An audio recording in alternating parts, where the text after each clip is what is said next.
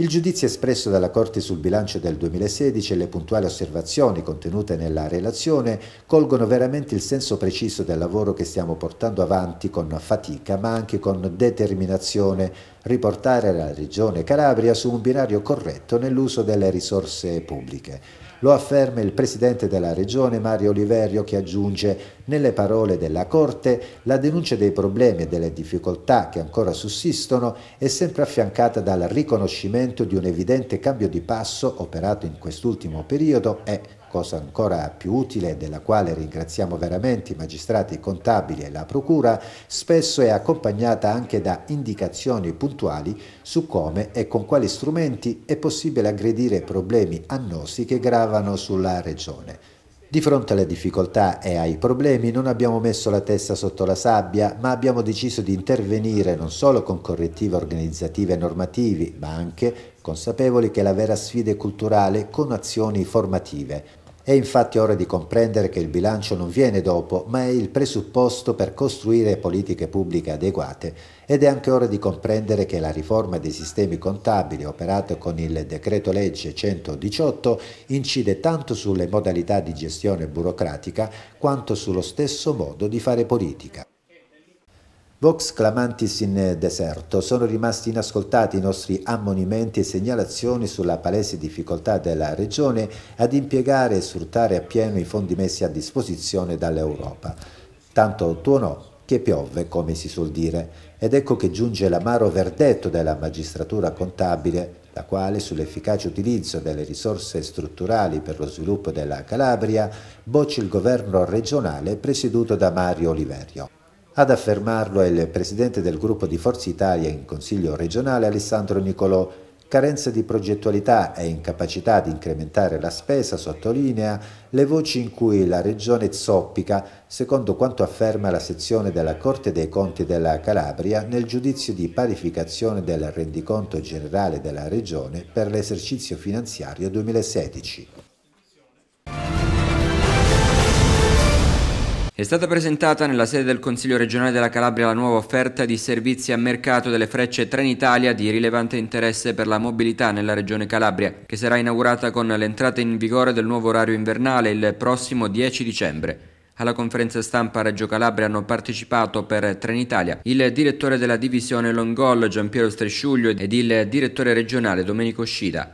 Per la regione Calabria il presidente Mario Oliverio e gli assessori Roberto Musmanno e Francesco Russo. In particolare è stato annunciato l'avvio dei due nuovi collegamenti giornalieri veloci con Freccia Argento che consentiranno di spostarsi tra la Calabria e la capitale in meno di 5 ore. Si tratta delle Freccia Argento 8351 Roma Termini Reggio Calabria e delle Freccia Argento 8358 Reggio Calabria Roma Termini. Salgono così a 4 le corse veloci tra andata e ritorno che collegheranno le due città fermando anche a Napoli, a Fragola, Salerno, Paola, Lamezia Terme, Rosarno e Villa San Giovanni. Trenitalia ha anche annunciato il contemporaneo lancio del servizio Freccia Link tra Lamezia Terme e Catanzaro per collegare il capoluogo al network delle frecce, testarne e soddisfarne la domanda con un servizio su strada comodo, veloce e di qualità pari a quella offerta dalle frecce. No, la Regione ha aperto un confronto con eh, il Ministero dei Trasporti, con, eh, RF, eh, con Trenitalia. Abbiamo prima ottenuto il risultato di evitare l'entratura della freccia d'argento nella stazione di Napoli guadagnando mezz'ora, adesso abbiamo insistito per la seconda coppia, la seconda coppia partirà con nuovo orario ferroviario con eh, appunto oh, un treno che partirà la mattina da Roma per Reggio Calabria e la sera da Reggio Calabria per, per Roma, quindi appunto abbiamo una seconda coppia eh, servendo in modo più razionale e più rispondente ai bisogni della nostra regione. Insisteremo naturalmente in questa direzione per rafforzare i servizi, ma soprattutto questo avviene in un quadro di strategie di politiche dei trasporti che vede anche l'avvio dello studio di fattibilità per che l'alta velocità possa raggiungere Salerno fino a Reggio Calabria, quindi completare pienamente quella che è la linea che parte da Milano da Torino, da Venezia verso Reggio Calabria. Allora, si tratta di una nuova eh, offerta che si eh, raddoppia per quanto riguarda il segmento Freccia Argento, è un servizio che Trenitalia fa a mercato, quindi eh, risponde a una uh, bellissima esperienza che è nata l'anno scorso con una prima coppia di Freccia Argento eh, che è nata in collegamento tra Roma e la Calabria fino a Reggio Calabria. Questa esperienza assolutamente positiva ha incoraggiato eh, Trenitalia a eh, sfidare ulteriormente il mercato, quindi con una nuova coppia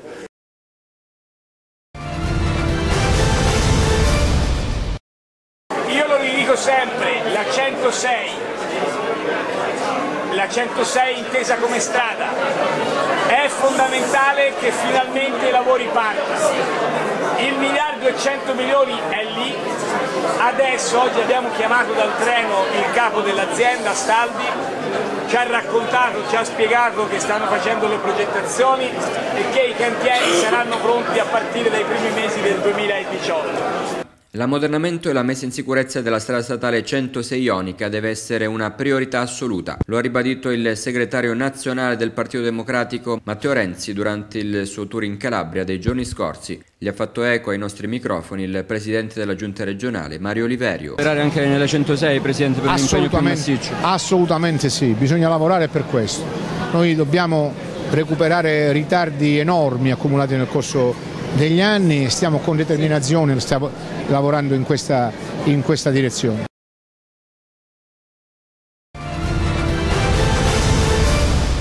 La Calabria sarà tra le prime regioni in cui saranno sperimentati i piani di integrazione dei titolari di protezione internazionale voluti dal Ministero dell'Interno. Lo ha detto Giovanni Manoccio, delegato della Presidenza per le politiche relative all'immigrazione, intervenendo alla presentazione del dossier statistico Immigrazione 2017 che si è tenuta nella Sala Oro della cittadella regionale a Catanzaro.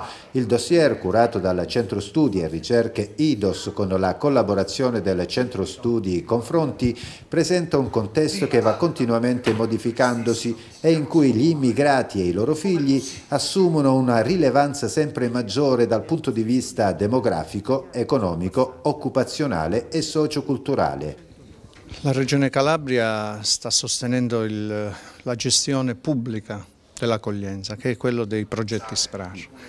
Questo ha rivitalizzato tanti territori della Calabria. Se lei considera che 7-8 eh, anni fa eravamo solo in 7 i comuni che aderivano alla SPRAR e l'altro giorno a, a, Taverna abbiamo siglato un accordo con il ministro Menniti, con l'ANCI, con le prefetture, siamo arrivati a 200, quindi il 50% del territorio calabrese, significa che quelle pratiche iniziate tanti anni fa con soli sette comuni sono diventate il verbo di questa, di questa regione. Un modello che evidentemente funziona, continua Manoccio, un modello di integrazione a cui si lega l'opera di diversi operatori e mediatori sociali e quindi che necessita del contributo serio di tanti professionisti. Eh, noi sappiamo che per esempio in Calabria c'è un'economia fragile, la nostra scommessa è questa in questo momento, passare dalla ottima accoglienza e da questo sistema delle buone pratiche che si è sviluppato nel corso degli anni a una buona integrazione. Questa volta abbiamo gli strumenti, perché per la prima volta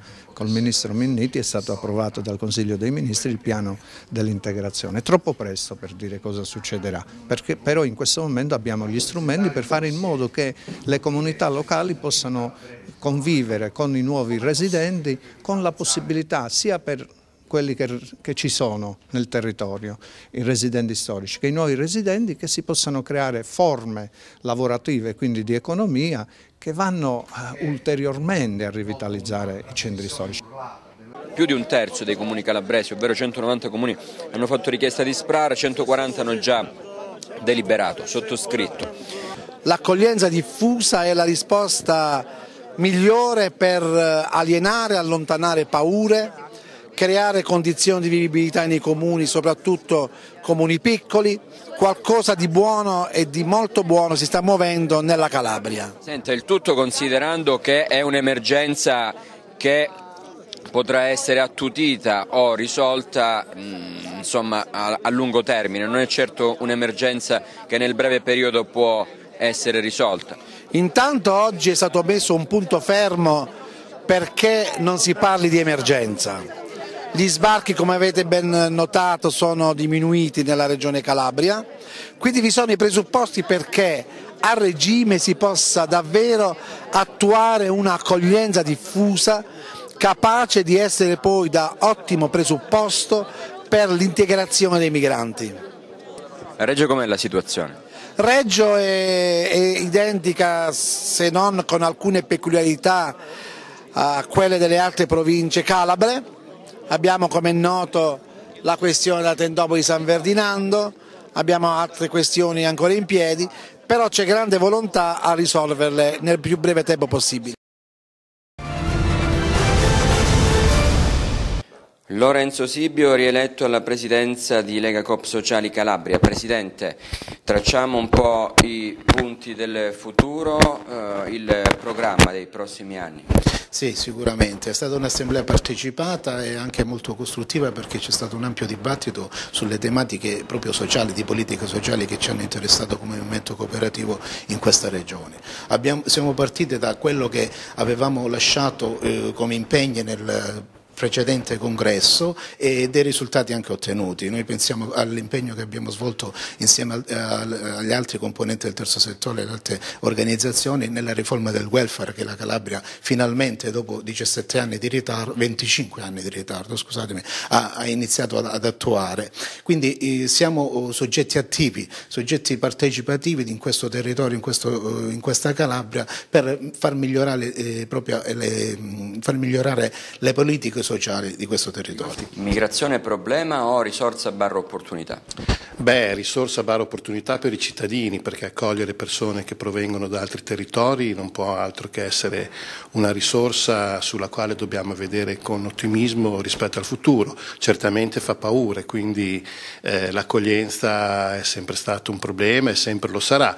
Eh, diciamo che quando si fanno percorsi di accoglienza e di integrazione fatti bene, come fanno le cooperative sociali, grazie al lavoro dei propri professionisti che sono assunti con un contratto di lavoro, sono formati e quindi sono persone assolutamente competenti. Ecco, quindi quando ci sono azioni di qualità, allora l'integrazione avviene e questo è un bene per i territori e per tutte le persone. L'obiettivo di Lega Coop in questa fase è ed è stato proseguire, continuare ad assistere le cooperative per andare oltre la fase di crisi dalla quale ancora in Calabria non siamo usciti.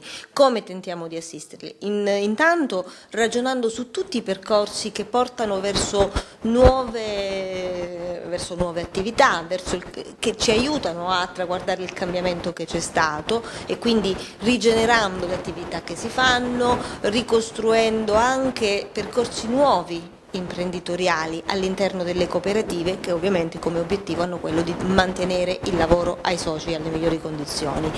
Questo lavoro di cambiamento non solo ci ha aiutato in effetti a mantenere le cooperative che avevamo nonostante le difficoltà, ma oggi possiamo dire che abbiamo anche lavorato sulla costruzione di nuove cooperative perché eh, è importante continuare a far nascere nuove imprese cooperative. Nell'arco di due anni il centro storico di Catanzaro vivrà un nuovo splendore.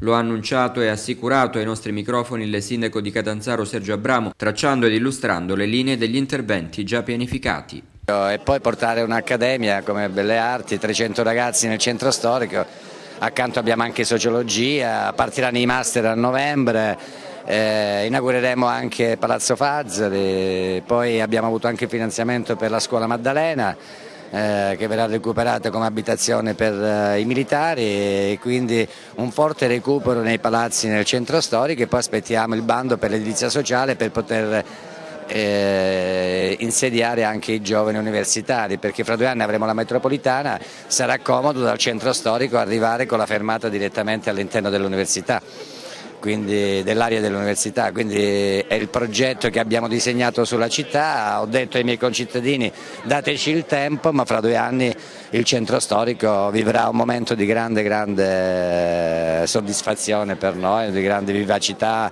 per via dei ragazzi del, di questi corsi universitari che porteremo al centro.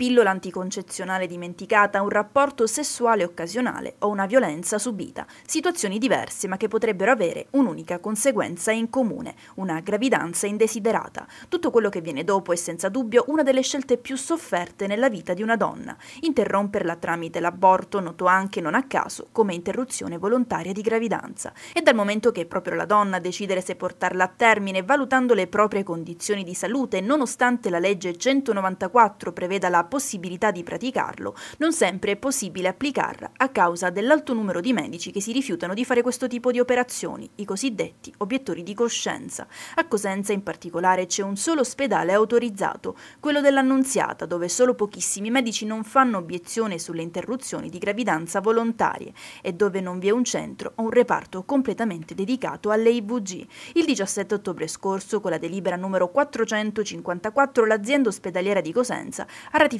il protocollo d'intesa con il gruppo imprenditoriale IGRECO, Ospedali Riuniti SRL, per il servizio di interruzione volontaria di gravidanza chirurgica, una clinica, quella del Sacro Cuore, privata ma accreditata con il Servizio Sanitario Nazionale e quindi autorizzata a praticare questo tipo di procedure. Non si tratta dunque della privatizzazione di un servizio sanitario essenziale ma dell'offerta alternativa rispetto ad una prestazione che continuerà come sempre ad essere erogata anche da una struttura pubblica.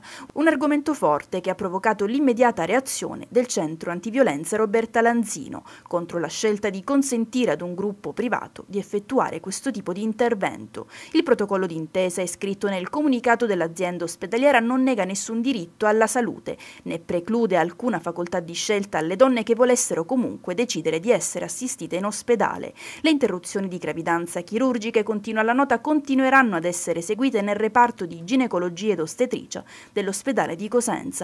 Un diritto per le donne di poter scegliere se interrompere o meno la gravidanza, un diritto, quello di poter decidere dove e se praticarlo.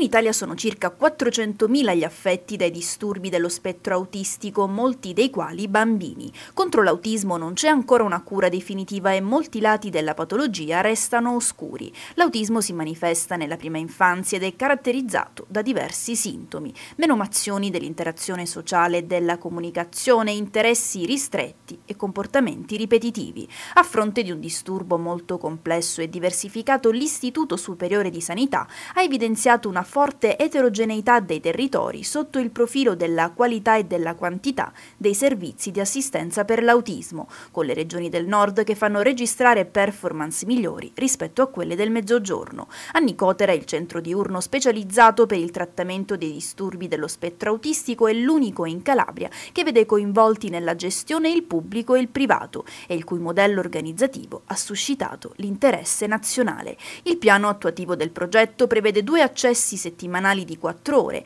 con un trattamento di tipo intensivo ed individualizzato, il metodo psicoeducativo cosiddetto ABA e il coinvolgimento diretto dell'Associazione Nazionale Genitori Autistici di Vibo Valencia, ma anche degli istituti scolastici eh, trova un'espressione diretta in un territorio dove, come il nostro, dove questo, diciamo, questa collaborazione non è stata sempre facilitata. Il fatto che a Vibo ci siamo riusciti in questo progetto proprio di, eh, di collaborazione, come dicevo, pubblico-privato, dimostra che tutto si può fare e si può fare anche nei territori difficili come il nostro. Beni per 217.000 euro sono stati sequestrati dai finanzieri del gruppo di Lamezia Terme nell'ambito di un'operazione coordinata dalla locale Procura della Repubblica che vede indagati un commercialista Gianfranco Antonello Muraca ed un noto imprenditore Giuliano Caruso per usura aggravata commessa ai danni di un operatore economico operante in città.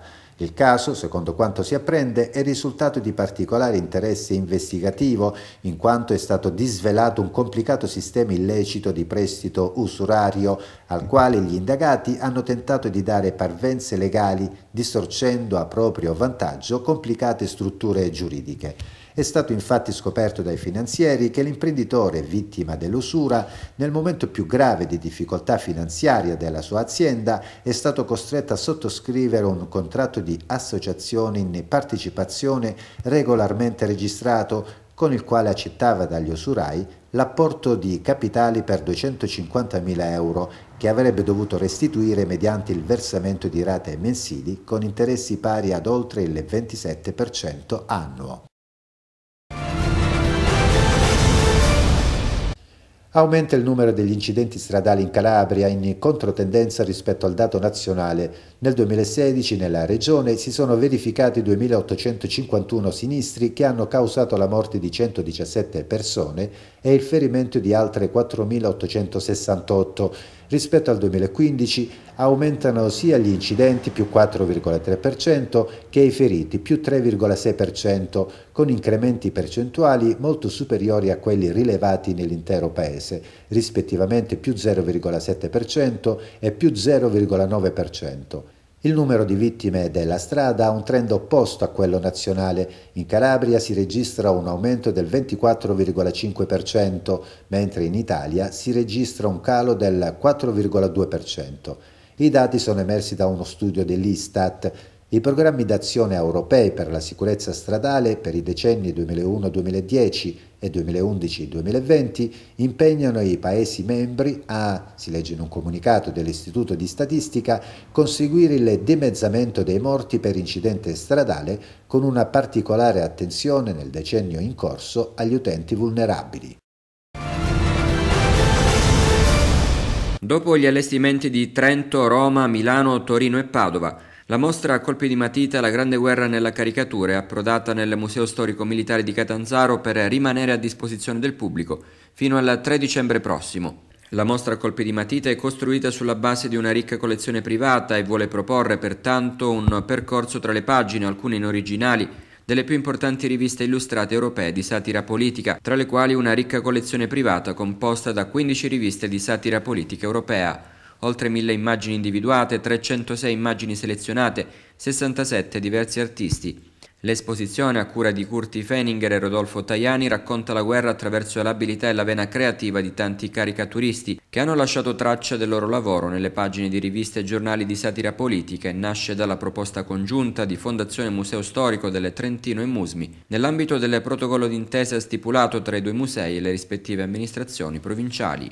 Beh, diciamo che è una, un primo passo, un passo concreto, una mostra che permette come dire, di raccontare un aspetto della Grande Guerra inedito, un aspetto legato alla rappresentazione della Grande Guerra, però è anche dire, un segno tangibile di come due territori, due istituzioni culturali possano dire, lavorare in comune. Noi nei prossimi mesi ospiteremo una mostra che viene proprio eh, da Catanzaro, inserita nel centenario della Prima Guerra Mondiale, ma questo secondo me apre la strada ad occuparci anche di altri temi perché sicuramente una, la comune storia e anche la comparazione tra storie è un elemento di ricchezza per tutti. Oggi eh, si tratterà eh, di come la libertà di espressione sia stata resa possibile anche attraverso la satira, attraverso un linguaggio eh, non codificato, alternativo, che spesso consentiva di superare le censure che durante la guerra noi sappiamo esserci state Coinvolgimento delle giovani generazioni, assolutamente sì, lanciamo anche un concorso per le scuole, si chiama il Sorriso Amaro, quindi eh, un Musmi che si apre sempre di più, che è sempre di meno monumento e sempre di più contenitore culturale. Sì, una iniziativa che eh, ha raccolto immediatamente eh, il mio favore perché eh, riusciamo in questo momento di grande eh, difficoltà per le province anche di produrre un'attività culturale che ci fa uscire fuori dai nostri confini. Questo accordo col Museo Storico di Trento ci consente oggi eh, di sviluppare una prima iniziativa che ci porta a valorizzare sempre di più questo museo all'interno del Parco della Biodiversità.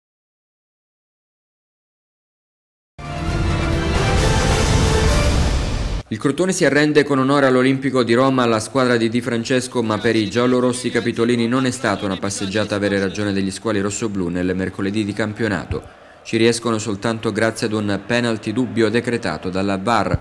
Nei primi 20 minuti scatenato il laterale romanista Kolarov. Ottimo il suo inizio di campionato, All'ottavo tiro al volo di sinistro che sfiora il palo a Cordaz fuori causa.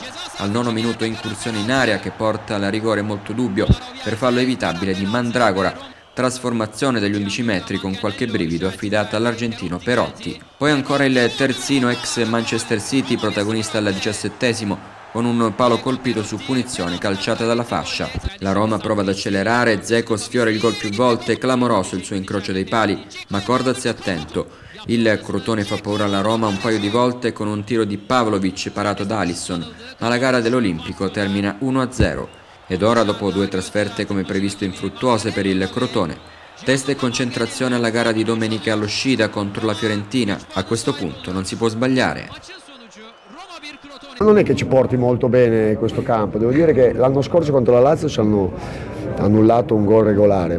Oggi chiaramente valutando e considerando sempre la qualità della squadra che abbiamo incontrato, eh, mi secca prendere un rigore così, anche perché io sono molto favorevole al VAR, non ho ancora ben capito quando, quando entri in gioco. Ecco. Sembra che con il Crotone non funzioni mai. No, adesso senza fare magari del vittimismo perché poi alla fine non, non, non ci serve.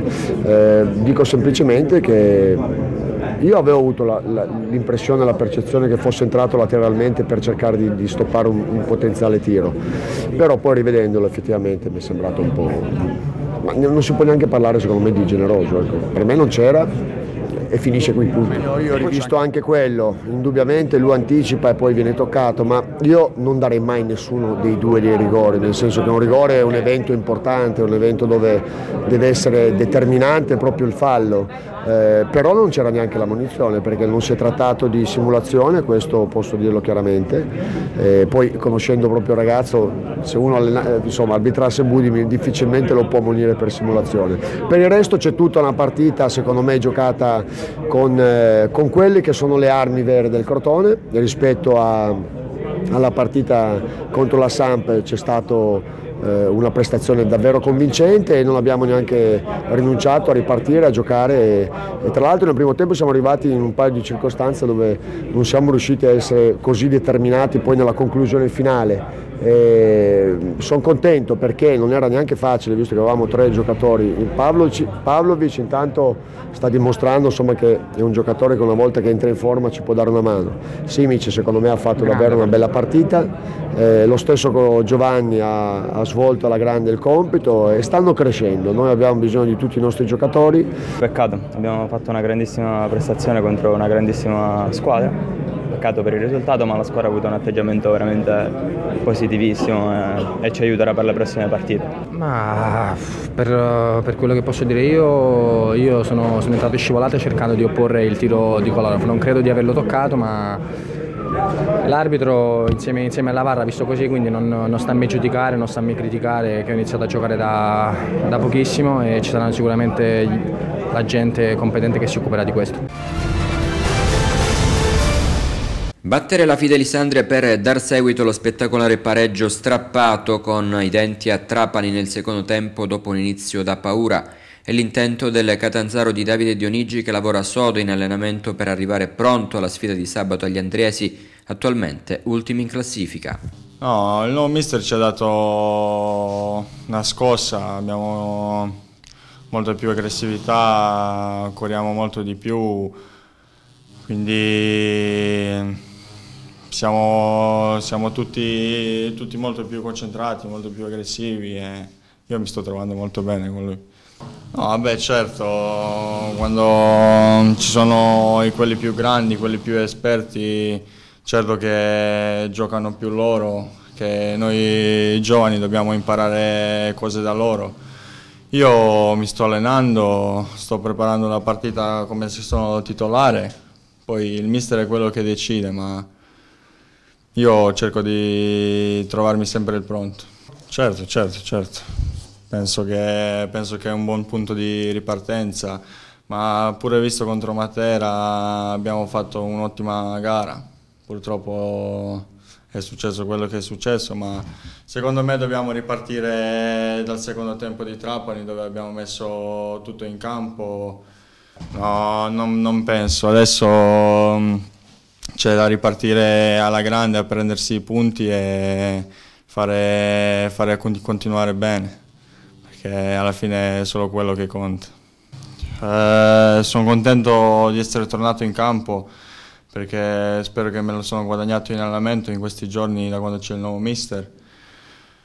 Quindi poi squalifica di Infantino potrebbe, potrebbe farmi entrare di nuovo di più in squadra, a giocare un po' di più, però decide il mister.